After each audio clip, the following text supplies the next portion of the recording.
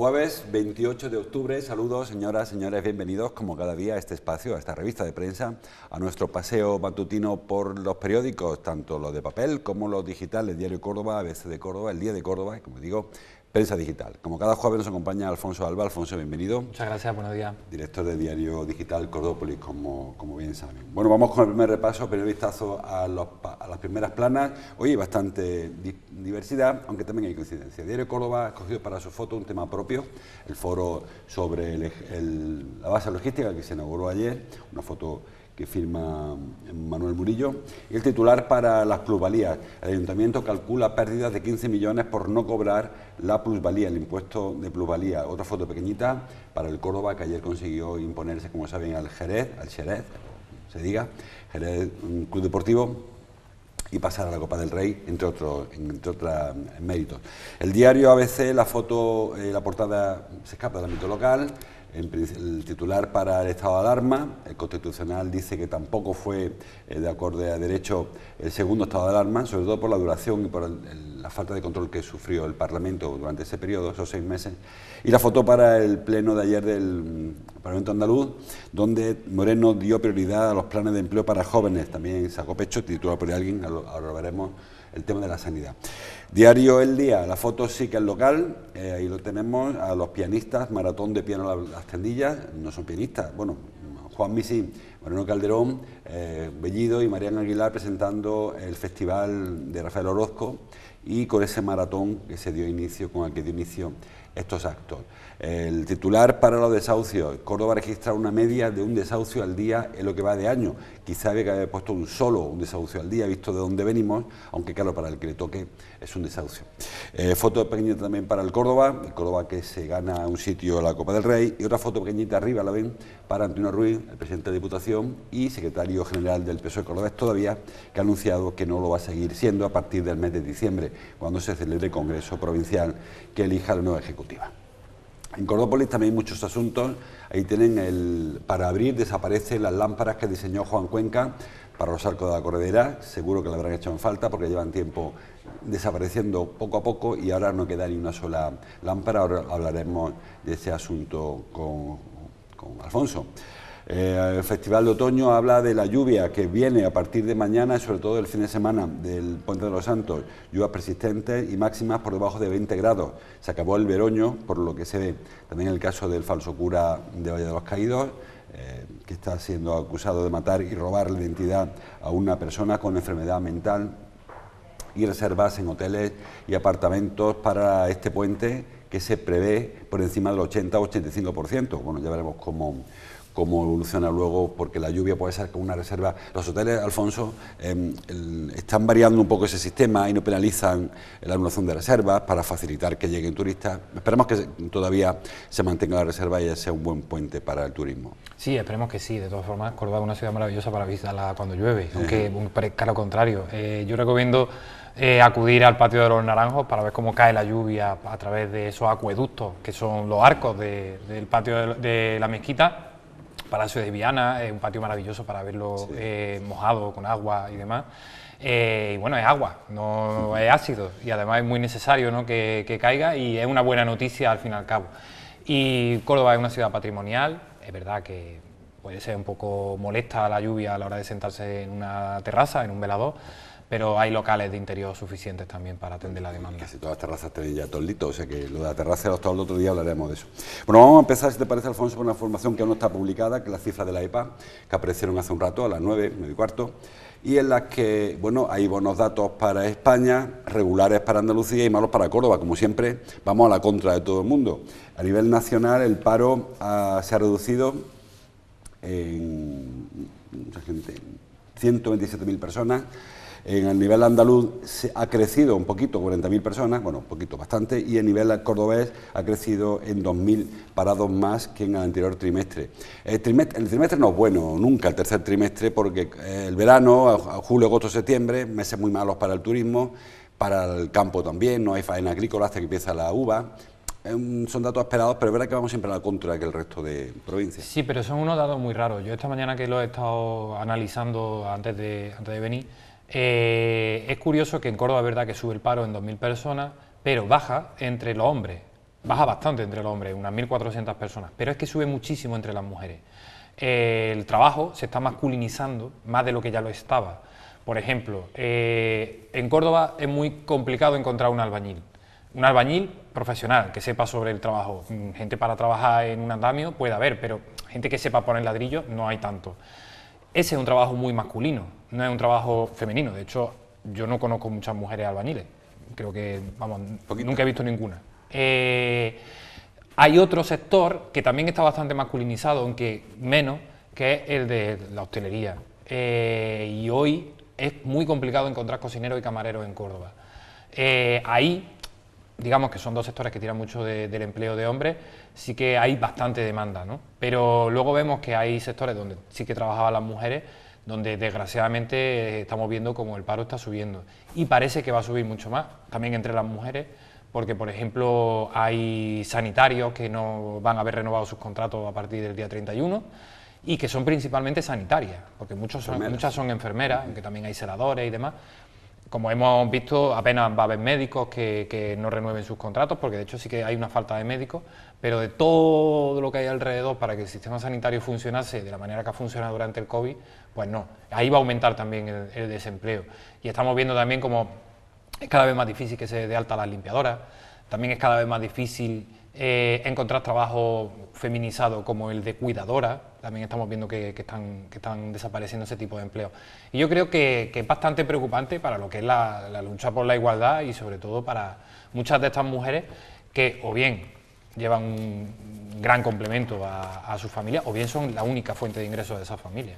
En Córdoba hay 87.100 desempleados y son 37.000 hombres y 50.100 mujeres, es decir, que la cifra de las mujeres en número absoluto supera con creces a la, de los hombres. Yo supongo que, como suele ser habitual, el cuarto trimestre será mejor y se recuperará, aunque veremos, como decía Alfonso, por dónde camina, porque lamentablemente eh, ayer el alcalde lo trae el diario Córdoba en la, portada, el foro de ayer, decía que vamos a escribir la Córdoba del futuro. Bueno, se escribe día a día, yo creo que tampoco hay que exagerar con lo de la logística, cada día escribimos la Córdoba de mañana. Pero que estamos escribiendo ahora, no sé si es la Córdoba eh, que va a posibilitar que el empleo estable que buscamos, el empleo igualitario, que todo el mundo tenga las mismas opciones. Me parece que estamos apostando otra vez por el turismo, otra vez por la agricultura y no sé si el momento que llegará la industrialización de Córdoba, porque la base logística no va a ser la panacea para eso. No, la base logística, volviendo un poco a, los datos que hemos comentado al principio, va a generar puestos de trabajo principalmente en hombres, igualmente. Eh, y, no creo que sea, en la logística trabajan fundamentalmente hombres, en el ejército trabajan fundamentalmente hombres, eh, y las mujeres al fin y al cabo los trabajos que acaban ocupando, aunque también hay creo que un 7-10% de mujeres en el ejército, eh, pues acaban siendo limpiadoras de, esa zona. ¿no? Vemos que también es un poco desigual. Yo entiendo que la base logística no estaba pensado precisamente para acabar con la desigualdad del mercado laboral, sino para atraer muchísimas oportunidades a la ciudad. Y creo que es bueno que llegue la base logística y creo que se abren bastantes oportunidades, pero obviamente no es lo único que hay que hacer. Córdoba tiene que cambiar su sistema productivo, quizás los tiros van por ahí, por la logística, eh, y lo hemos hablado varias veces, ¿no? Es como si intentásemos descubrir eh, a través de planes estratégicos de desarrollo en Córdoba eh, el fuego. Eh, Córdoba, mm, como sistema productivo, ya sabemos lo que ha sido fuerte desde prácticamente la época de los iberos. Es un lugar estratégico situado en la puerta de entrada entre la meseta y el sur de la península ibérica con una gran capacidad de producción agrícola, eh, por supuesto que es un sitio muy patrimonial que genera muchísimo turismo y además tiene una vocación industrial eh, basada en la transformación de las materias primas que había aquí, principalmente los minerales. Yo creo que, Córdoba tiene que apostar por, esos tres eh, sectores económicos, pero apostar bien y apostar de una manera digna. Y sí que tendrá futuro. Obviamente ahora mismo estamos trabajando la Córdoba del futuro. ¿Cómo será? ¿Será mejor? ¿Será peor? El futuro sabemos que no está escrito, pero sí que lo estamos escribiendo nosotros. Yo, insisto en que el futuro se escribe cada día, ¿eh? que también ayer escribíamos el futuro y antes de ayer. Ahora quizás está la hoja más en blanco y tenemos más capacidad para diseñar un futuro distinto al que había, pero el futuro hay que hacerlo cada día y no hay que ir a golpes, porque muchas veces cuando vamos a base de tirones eh, se escribe mal, se salen los renglones torcidos, nos vamos a ir más despacito. Bueno, vamos con la información que publica Corópolis, parece muy interesante, el de la, luego vamos con los temas menos lírico, el tema de la corredera. Eh, denuncian vecinos, lo recoge Juan Velasco en Cordópolis, que no quedan aquellas lámparas que diseñara Juan Cuenca para la remodelación en el año noventa y tanto fue, de la Plaza de la Corredera, y que ya han desaparecido. Eh, publica Cordópolis hoy, que hay que actualizar, supongo que estoy dentro de un rato, que ya van apareciendo, pero esas lámparas que están viendo ahí, que ya, bueno, que están viendo, que vieron en su día, que ya no las ven, fueron sustituidas por focos. De hecho, habrá personas que no recuerdan las lámparas, porque hay muchos espacios, muchos arcos, que la lámpara desapareció hace 5, 6 o 7 años. Sí, en el año 2018 eh, se retiraron tres por riesgo de caída. Eh, esto es un síntoma un poco del funcionamiento de, o de cómo estamos cuidando el patrimonio de la ciudad e incluso del funcionamiento del propio ayuntamiento. Y no es bueno el síntoma. Eh, la corredera, mm, la última reforma, que es la de Juan Cuenca, se concluyó en el año 2001, es un bien de interés cultural además, y todos los diseños de la corredera están protegidos. la corredera se hizo una intervención muy al estilo Equipo 57, reconocida internacionalmente, que, es que no sabemos muchas veces ni siquiera lo que tenemos, en la que, eh, aparte de la conservación de la propia plaza, con esa esencia de plaza castellana en el centro de Córdoba, etcétera, etcétera, tiene varios elementos contemporáneos, pero muy singulares. Juan Cuenca, por ejemplo, se inventó el cubo que hay en el centro de la corredera, que lo que, lo que hace es que tapa unas escaleras que van al mercado antiguo que había abajo, que ahora mismo esa zona está hueca y sin utilizar. Se inventó unas farolas que hay en el centro de la corredera cuadrada, que son muy singulares eh, y que luego eh, han sido imitadas en otros puntos de la ciudad, como el Vía Norte. Y eh, se inventó estos faroles, que además tienen un diseño protegido, que cada farol de estos, ojalá no ocurra, ¿no? pero si cayese en el mercado negro tendría un valor bastante alto, que lo que hacen es que imitan a los antiguos faroles de los arcos de la mezquita. pues bien, en el año 2018 empezó a haber problemas con algunos porque las sujeciones fallaban. Obviamente, desde el 2001 hasta el 2018, esa zona no ha tenido mantenimiento ninguno y es una zona muy expuesta a viento, a lluvia y al deterioro de, estar en la calle, básicamente. Y el ayuntamiento entonces decidió retirar tres de esos, de, esos faroles. Eh, lo que ha ocurrido ahora, y lo que pasa es que ayer no tuvimos respuesta y llevábamos trabajando el tema desde por la mañana y hablamos con muchísimos departamentos del ayuntamiento y nadie sabía qué es lo que había pasado con los faroles, que es una cosa que a mí me parece bastante alucinante. Eh, lo que ha ocurrido es que eh, ha habido un pequeño atestado de la policía local de que había un farol en riesgo de caída, eh, se ha avisado al alumbrado público, el farol se ha retirado, pero alumbrado público ha decidido que hay que retirarlos todos, sin dar parte a la Gerencia de Urbanismo, sin dar parte a la Comisión de Patrimonio de la Junta de Andalucía, sin dar parte al autor del diseño que es Juan Cuenca, que afortunadamente todavía está entre nosotros, sin dar cuenta a prácticamente nadie. Eh, los faroles han aparecido, están en infraestructura, eh, tendremos que ver si están todos, si están todos bien, si se ha roto alguno, si se ha extraviado alguno, etcétera, etcétera. Eh, y hasta donde sabemos la intención del ayuntamiento es la de reponerlos Mientras tanto, eh, lo que se han colocado son unos focos LED de luz blanca que alteran eh, totalmente eh, la iluminación de la propia plaza de la corredera.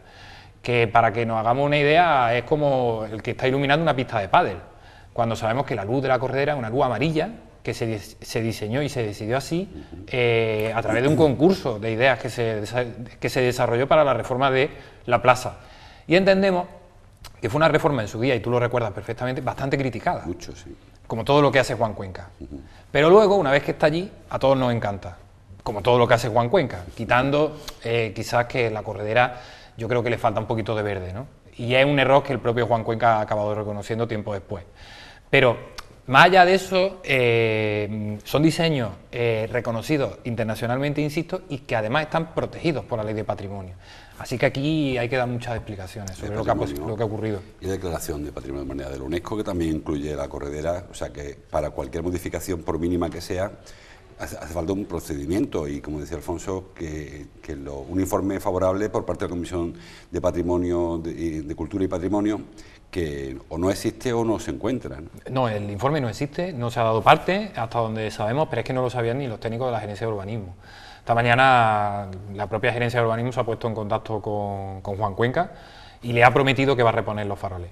Se lo ha prometido.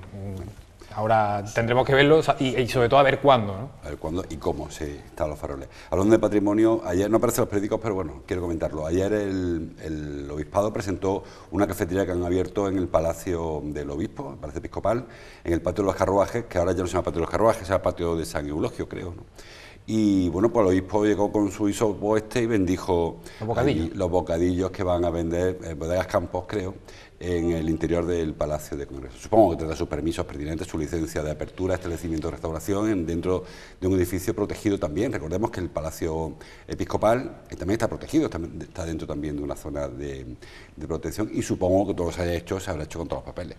Ayer cuando publicamos la historia... Eh, me fui a, los comentarios en Facebook de las noticias que nosotros publicamos, que, ya sabéis que a veces son algunas que se convierten como en bastante virales y algunas tienen una lluvia de comentarios. Y por supuesto esta tenía una lluvia de comentarios. Esos comentarios no son eh, un retrato exacto de lo que piensa la gente de la ciudad, ya lo sabemos, ¿no?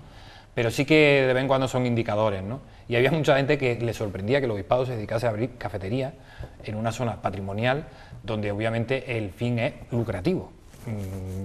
No sé después a qué dedicará el obispado ese dinero, hará muchísimas obras sociales eh, o intentará difundir el Evangelio eh, por todos los rincones de la provincia de Córdoba. Espero que así sea, ¿no? Pero había muchos que se sorprendían y decían, bueno, han abierto una cafetería junto a la mezquita para los turistas, que ya veremos a ver el precio además que le ponen a las cosas, pero ¿por qué no han abierto un economato para darle de comer a quien no tiene eh, para comer? O esa cafetería le dará de comer a todos los necesitados que hay en Córdoba.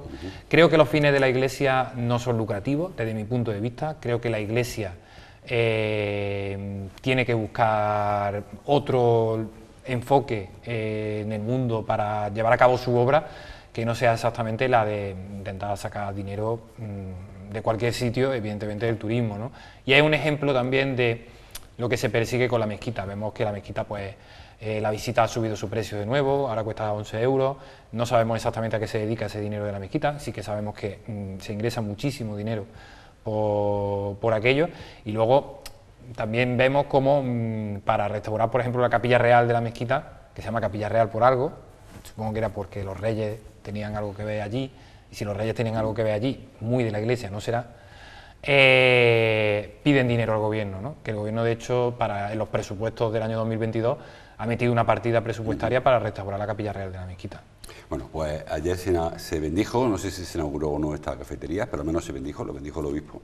Y la cafetería va a estar abierta en una zona, como digo, que al final, ahí donde van a ir probablemente las taquillas de la mezquita también, si se avanza esa propuesta que hay, en el mismo patio de San Eulogio, patio de carruaje, eh, van a ir las taquillas, con lo cual se garantiza que esa cafetería tendrá un paso tremendo, más que la calle Cruz Conde, pasarán al año un millón de personas y pico por allí, por esa cafetería, pues cerca de la cafetería, no por dentro, para comprar su, taquilla. Y donde una zona donde hay muchísimos locales de restauración, no parece que fuera por necesidad de que el público no tuviera donde tomarse un bocadillo, sino que parece que otro sitio hay. En fin, cada uno, como decía Alfonso, que invierta su dinero donde quiera y que busque los recursos, pero es verdad que está la cosa como muy calentita como para que el obispado eh, invente negocios tan raros que yo entiendo. Economato hay algunos, en Caritas tiene su economato y alguna, alguna entidad religiosa que tiene su economato, pero no siempre a todo el mundo le apetece escuchar ese tipo de información. Bueno, siguen hablando de dinero.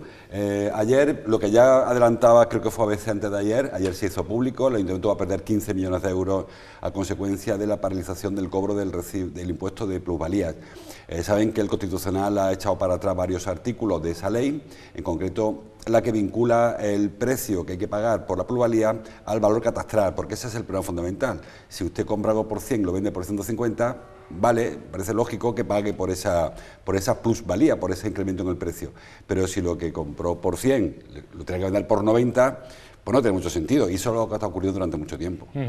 La cifra de 15 millones no es del todo correcta. El Ayuntamiento en 2019, que es el último dato consolidado del presupuesto, recaudó casi 19 millones y medio de euros del impuesto de plusvalía. O sea, un agujero eh, o un boquete, como le gusta decir a Salvador Fuentes, bastante importante el impuesto de plusvalía es una ley del año 2004 eh, que se aprobó recién llegó José María Aznar al gobierno de la Nación.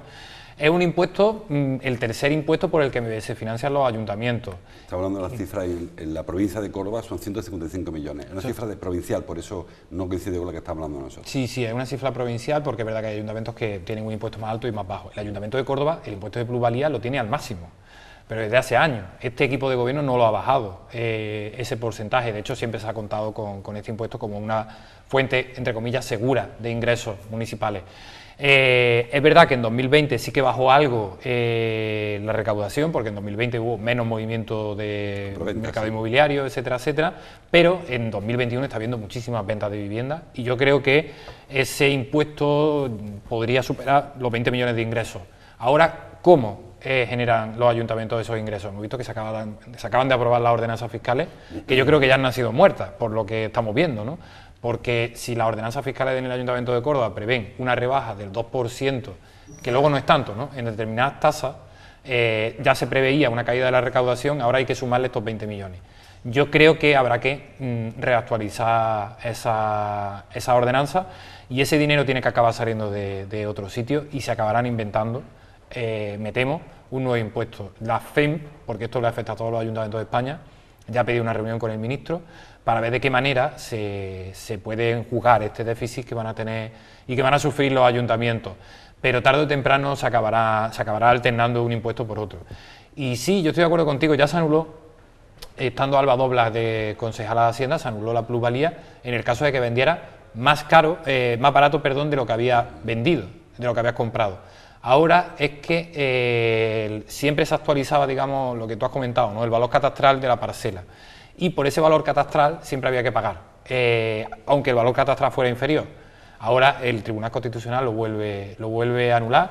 Lo que pasa que la mala noticia para todos los cordobeses es que no tiene carácter retroactivo. O sea, que el que lo haya pagado Santa Rita, Rita, Rita, lo que se da no se quita. La plusvalía se paga cuando se vende un inmueble, lo, paga el vendedor, o cuando se hereda o se recibe en donación un inmueble, que lo, entonces lo recibe, lo paga el receptor.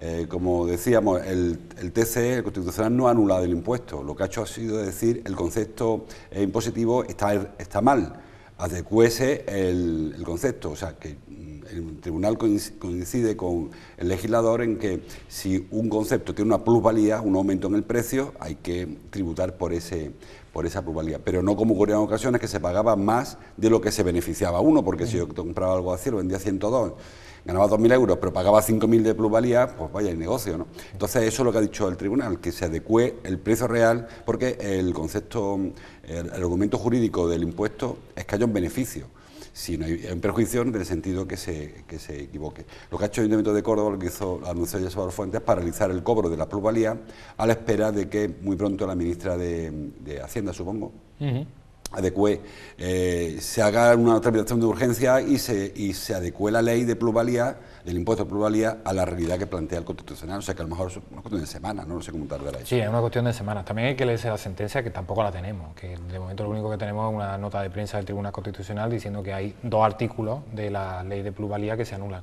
Y es verdad que no se va a anular el impuesto entero y que no se van a perder esos 20 millones, creo yo, de enteros tampoco, sino que simplemente será en los casos que el Tribunal Constitucional ha anulado. se reformulará el impuesto y... el concepto, no, no, mirando el valor catastral, sino el valor real de la transacción. Si lo que costó 100 se vende a 150, se pagará por esa cantidad.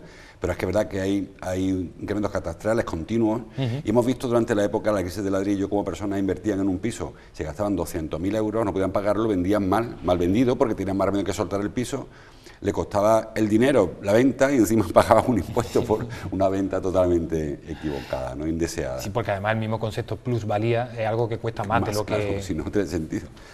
Bueno, otra información en la que coinciden los periódicos es en el anuncio ayer de, Antonio Ruiz de no presentarse a su segundo mandato. Habitualmente los secretarios generales del PSOE en Córdoba han durado mucho tiempo. Antonio mm. se ha conformado con uno, Antonio Ruiz.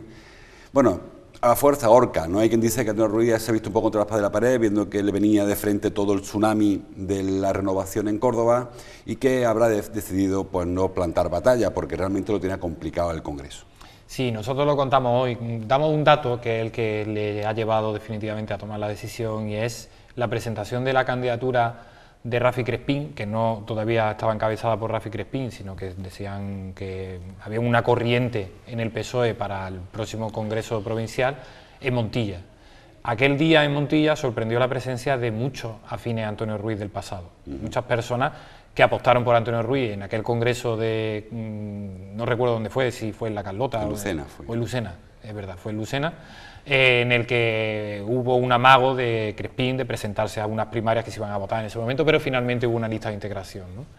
Entonces, mm, Ruiz ha visto como, eh, digamos, gente del entorno del antiguo secretario provincial Juan Pablo Durán se pasaba al equipo de Crespín, como eh, una persona tan importante para el susanismo en la provincia de Córdoba como Alberto Mayoral, que era secretario general de la Juventud Socialista en Córdoba, se pasaba al equipo de Rafi Crespín y como sus posibilidades menguaban muchísimo. Y ha decidido dar un paso atrás. También mm, me consta que dentro del PSOE no se veía con buenos ojos que una persona acumulase muchos cargos, que fuese secretario general, presidente de la Diputación y alcalde de su pueblo y se ha optado porque, porque se diera ese paso atrás en, en, lo orgánico. Ahora lo que está por ver es si se va a integrar Carmen Campos, la consejera que anunció su candidatura, eh, en la lista de, de Rafi Crespín o no.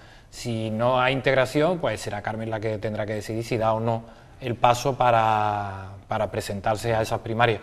Pero yo creo que el Congreso va a ser una balsa de aceite, eh, habrá discursos de unidad, habrá discursos de integración, todo el mundo será maravilloso.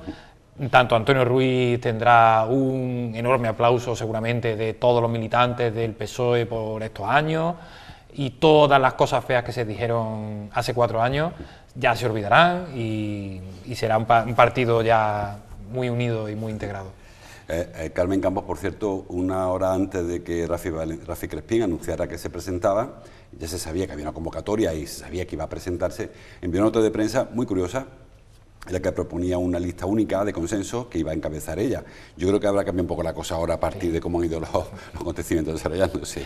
Sí, a veces los tiempos en la política también son demasiado curiosos y es verdad que esta jugada como que ya se veía desde el principio lo que significaba, ¿no? que era como, vale, ya sé que Antonio Ruiz va a decir que no va a seguir, vale, ya sé que Rafael Crespín se va a presentar, venga, pinta una lista de unidad, pero que yo quiero ser la candidata, a ver si así luego tengo un puesto importante en tu lista. Sí, y luego una, una hora antes de que pase todo esto que se veía que iba para, para allá la, la corriente. En, la, en, el acto de Rafi Crespín del otro día estaba todo el mundo, todo el PSOE acudió, sí. excepto algunos muy señalados, quizás el sector más duranista que se resisten todavía a hacerse la foto, pero alcalde de Montilla, alcalde de Montegenil, Isabel Ambrosio, exalcaldesa de Córdoba, en, en diputados, parlamentarios, muchos ex que no se están asomando la cabeza porque ven unos, unos nuevos tiempos, pero la verdad es que estaba todo el mundo. Sí, sí. Y si no está, que no estuvo es porque no le dio tiempo a llegar, pero parece que todo el mundo aupa a esta a Rafi, que está, que está es la figura emergente junto a Ana Romero, quizás, uh -huh. del socialismo cordobés. Sí, se, se, convertirá en la primera mujer que dirija el PSOE en Córdoba, que sea la primera secretaria provincial del PSOE de, de Córdoba. No ha habido mujeres que yo sepa. No, en la etapa nueva de... No, seguro que no. Y yo creo que en la anterior tampoco. No, no, Digo, en la no. etapa de República, no sé qué pasaría, no, supongo que tampoco. Sí, claro, bueno, en esos años de franquismo, pero yo creo que tampoco. No, creo no, que va a ser la primera mujer secretaria provincial de, sí. del PSOE. Siempre hay una primera vez. Bueno, pues tocará o, o, Rafi o Carmen si al final hay primarias, si al final Carmen contra pronóstico se impone, pues sería o Carmen o Rafi o alguno otro que apareciera. Todavía hay, hay opción. Este viernes, mañana se convoca el Congreso y se convocan primaria a mediados de noviembre, creo que son uh -huh. las primarias en caso de que sea necesaria, si solo un candidato no haría falta. O sea que hay tiempo todavía para que alguien más haga movimiento.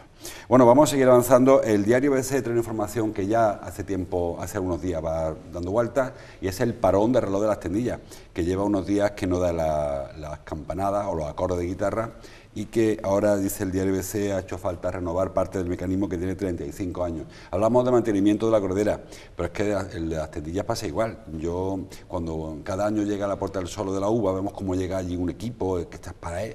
Aquí en el de Córdoba, yo he subido, tú habrás subido a reloj de las tendillas, verlo como aquello, y aquello, no sabes cómo aquello funciona, porque es un reloj con muchísimos años y con un mecanismo muy antiguo, de estos de, de engranaje, una cosa que creo que tendría que haberse mecanizado un poquito ya. Es un viaje al pasado, sí. eh, cuando subes por esa escalera, y es verdad que, que, no sabes cómo funciona un reloj tan antiguo.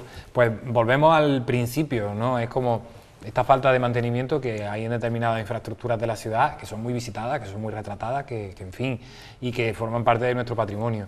Eh, nosotros ayer también hablamos con David Dorado y lo que nos dijo que una empresa de Valencia, que es la única creo que en España, o de las pocas, que pueden manipular el mecanismo de la caja de sonido, por, por entendernos, se ha llevado la caja para ver cómo la puede arreglar. Y que no le ha dado una fecha de cuándo puede volver. Que también es muy curioso, que estamos a las puertas de las Navidades y que no deja de ser un reclamo turístico eh, ese sonido en las tendillas. De hecho, hay muchos turistas que los vemos, que van a la hora en punto para escuchar al reloj de las tendillas y que ahora llegarán allí, que el reloj llega a las 12 y no suena la guitarra. En la corredera también sonaba. Había también otro reloj que sonaba. No sé si sigue sonando. No, mientras estuvo las tendillas en obra se utilizó aquel, las campanadas también de la corredera. Pues no sé. También habría que echarle un ojo a ver si ese sigue sonando o también se han llevado el mecanismo y no sabemos dónde está. La complejidad de los relojes, aunque sea fuera de hora ya. Dicen que Carlos I de España y Quito de Alemania era un obseso de los relojes y que su manía era que todos sonaran al mismo tiempo en su palacio y que a él no le salía, claro. Y decía, hombre, que había sido capaz de unir no sé cuántos pueblos del mundo bajo su reinado y no era capaz de poner este relojes funcionar al mismo tiempo. Pues aquí pasa un poco igual con los relojes de la, de la corredera y de las tendillas de los relojes que haya. No ha quedado el tema del Córdoba, ayer como saben Córdoba le ganó al Jerez, al Jerez Club de Fútbol, Club Deportivo, no al otro, hay dos equipos en Jerez, están un poco a la greja como nosotros.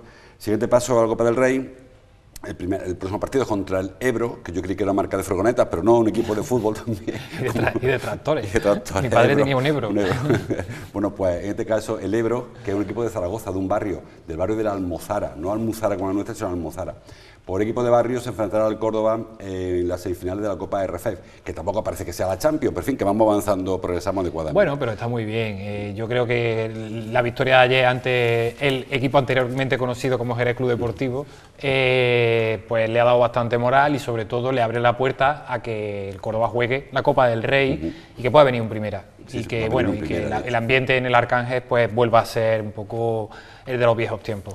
Pues vendrá un primera, no sabemos si vendrá, no serán equipos Champions todavía, pero puede venir un equipo de primer nivel, no sé si es Valencia o un equipo así que no esté jugando Champions, eh, puede venir al Arcángel dentro de, no sé, creo que en diciembre, el 1 de diciembre cuando toca. Además sería en casa, claro. Los tres siguientes partidos, las semifinales contra el Ebro, en la final, si se produjera, y la primer cruce de Copa del Rey será en el Arcángel porque toca ahora ese tipo de historias. Bueno, nos pasamos mucho de la hora.